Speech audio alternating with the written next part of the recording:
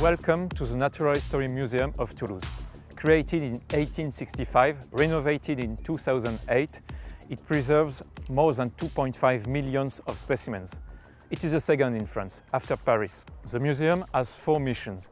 The preservation and valorization of natural history heritage, the development of curiosity and delight of discovery in its public, the sharing of scientific knowledge, and the sensibilization of humankind, nature and environment relationships in all their diversity and fragility. Today, we will discover the museum behind the scenes and the history of several of its specimens, and the first of all, the giraffe of the north.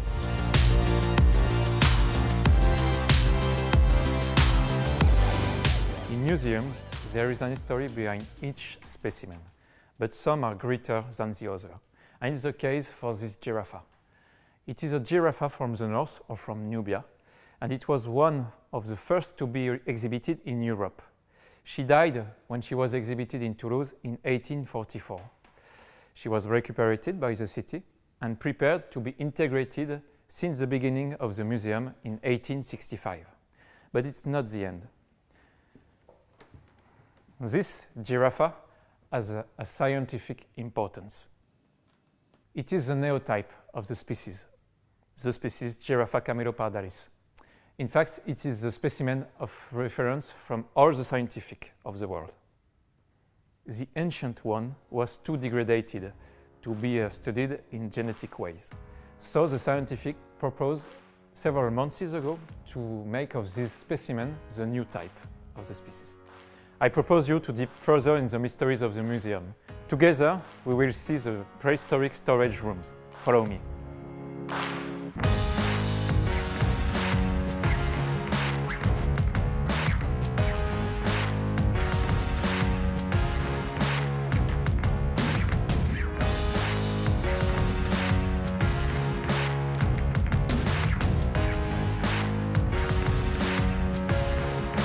Here we are in the storage room of prehistoric collections. Here are preserved tens of thousands of artifacts and specimens from several gisements and multiple periods. The southwest of France was of first importance in the beginning of the prehistoric studies. Toulouse was the, the place to be for many scientists, and we have here some, uh, some artifacts, some testimonies about those scientists. For example, this small onyx. It was not discovered in the southwest, but in Somme, always in France. It was discovered by Boucher de and donated in 1860s to Edouard Lartet.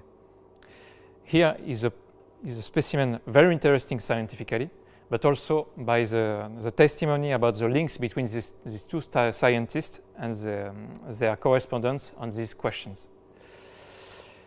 A great discovery made in the field but several are always made in the collections, and we will see it now with this specimen. Some specimens keep their secret for a long time, but we have discovered the secret of this specimen very recently. Here we have a shell from a sea snail who lives actually in North Sea and North Atlantic, but it's not the specimen who is interesting for us. It is this one here from 18,000 years ago. It was discovered in Marsoulas, in the earth of Pyrenees. It is from 18,000 years ago, and it was easily transformed by human hand. Here we have a red pigmentation, and the summit of the shell is cut very precisely for one goal, to make from this shell a sea shell horn. And to help us to understand this specimen, to help us to understand the sound it could produce 18,000 years ago, we made a replica here in the laboratory of the museum. And now I invite you to follow me in this laboratory.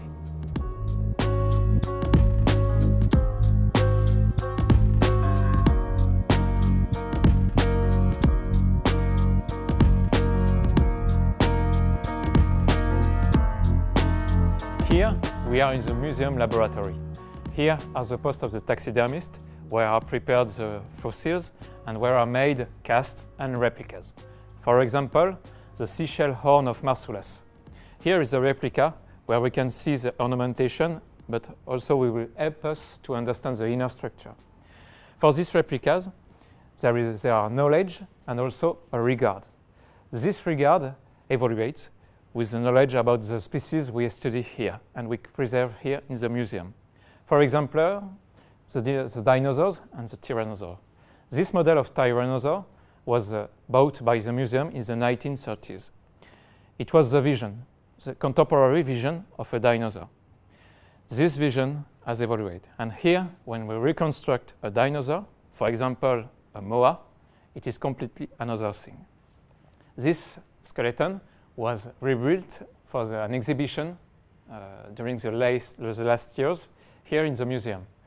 It incorporates the latest knowledge about anatomy and behavior about this species. But this skeleton can also produce magnificent effect on publics. It can cultivate the curiosity and the delight of discovery. And here in the museum, we have other means to cultivate it. And we will see it in the pedagogic storage rooms, which we will discover now. Welcome in the pedagogic storage room of the museum. Here are preserved pedagogic collections, which can be touched by the public, but also some patrimonial specimens. And here, this one. It's a fructification from a raffia. A raffia is a palm tree which lived in Madagascar and on the southeast coast of Africa. But it's not only the history of the specimen which is interesting here. It's the history of its donator. His donator was a man called Balansa. He was born in the southwest of France in the second part of the 19th century. His passion was the botanic, and this passion leads him all around the world, from Paraguay to Turkey, from Algeria to Indonesia. Balansa gave a large part of its collection to the Museum of Toulouse. But this picture of a child of the 19th century can also be the picture of a child of our century. And it is a mission where the museum is particularly implicated.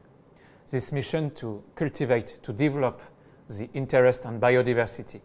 And this is for what the museum joined the International Coalition for Biodiversity to lead this voice for the biodiversity. So we have seen all these spaces ordinarily closed to the public.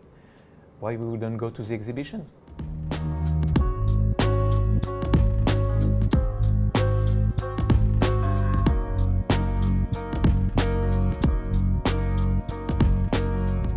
What a masterpiece The Mask of the Spirit of Nimba. It was made by the Baga from Guinea. This mask is a symbol of fecundity and fertility. It represents a feminine ideal with strong breasts, but also the long nose, the beak from the hornbill. This mask was collected in 1930s during the colonial era. It is the case for a strong part of an ethnographic collection. But today, we pursue this collection. And we are in straight link with the local population. It is a testimony, a material testimony of an immaterial culture today. Voilà, this is the end of our visit.